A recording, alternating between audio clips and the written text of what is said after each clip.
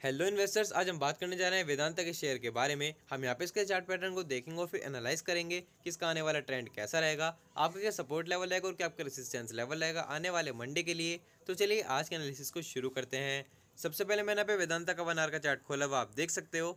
बात करते हैं स्टॉक के ट्रेंड की तो इसने ऊपर एक ऑलमोस्ट डबल टॉप क्रिएट किया था और उसके बाद से एक डाउन ट्रेंड के अंदर था बट उसके बाद से कंसोलिडेशन के अंदर आ गया और इसका जो सपोर्ट है वो है टू का और इसका आपके लिए रेसिस्टेंस है टू नाइन्टी फोर का। ये इसी के बीच में स्विंग हो रहा है बट इसके बीच में जो इन्वेस्टर्स हैं, उन्होंने काफ़ी अच्छा पैसा बनाया है।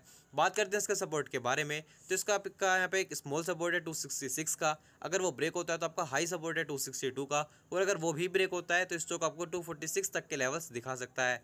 बात करते हैं इसके रेसिस्टेंस के बारे में तो इसका एक स्मॉल रेसिस्टेंस है 286 का। नेक्स्ट आपके जो हाई रेसिस्टेंस है वह 294 का। अगर इस उसको ब्रेक करता है तो उसके बाद यहाँ से आप उसके तेज़ी की उम्मीद कर सकते हो। बात करते हैं इसके एडीएक्स के बारे में तो वो भी, भी ट्वेंटी पॉइंट फिफ्टी नाइन है यानी कि बिल्कुल भी स्ट्रॉन्ग नहीं है। तो यहाँ से कोई ऐसा नहीं है कि स्टॉक अपने अप ट्रेंड को यहाँ पे कंटिन्यू करेगा ये वापस यहाँ से फॉल बैक हो सकता है और अगर यहाँ से फॉल बैक होता है तो आप इसके अंदर एंट्री ले सकते हो अपने टू सिक्सटी टू के सपोर्ट को मान के और अगर ये जैसे ऊपर जाता है तो वापस आप इसके अंदर इसको सेल कर सकते हो और यहाँ पर अपने प्रॉफिट्स को बुक कर सकते हो। सो ये पूरी एनालिसिस वेदांता के ऊपर। अगर आपको एनालिसिस पसंद आए तो वीडियो को लाइक करो और बेसी एनालिसिस के लिए अभी सब्सक्राइब करो पैसा ग्रोवर को।